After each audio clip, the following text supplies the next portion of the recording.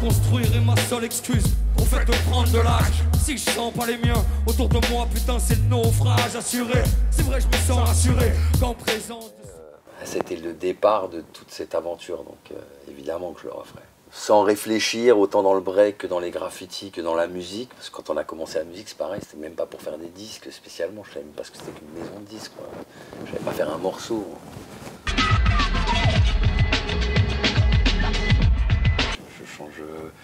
change rien, sauf les fois où on s'est fait péter. Ces jours-là, on aurait mieux fait de pas sortir.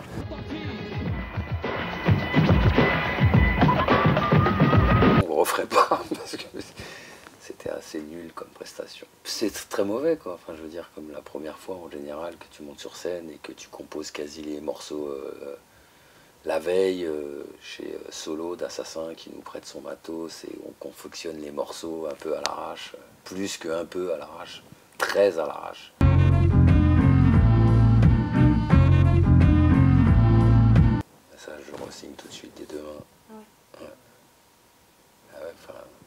Il y avait peut-être d'autres maisons de 10 meilleures, mais en tous les cas, la nôtre euh, nous a laissé faire tout ce qu'on voulait, comme on voulait, quand on voulait, avec qui on voulait, de la pochette au clip, à la prod, au mix, au studio, avec un regard très très lointain, du genre de toute façon vous savez mieux que nous ce que vous faites. On n'a pas trop de conseils à vous donner vu qu'on est en 1991 et que le rap ça n'existe pas quasi.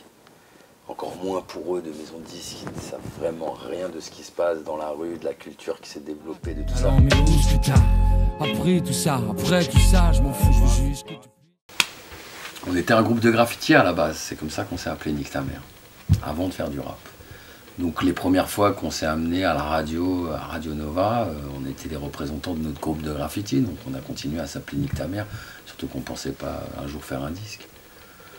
Donc euh, non, ça fait partie de la, je sais la légende, non c'est un peu trop gros comme mot. mais- Parfait, mais euh, voilà, tu es dans la vie active et puis d'un seul coup, on te change d'univers et tu te retrouves comme un mouton. Voilà, comme un mouton, on te déporte.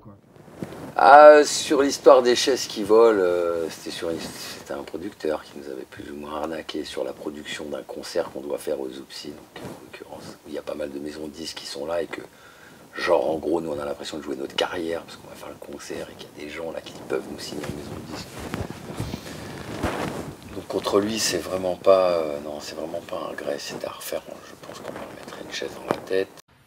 Les deux chanteurs du groupe NTM, Nick Tamer, ont été condamnés par le tribunal de grande instance de Toulon à trois mois de prison ferme et à six mois d'interdiction d'exercer leur métier sur l'ensemble du territoire français.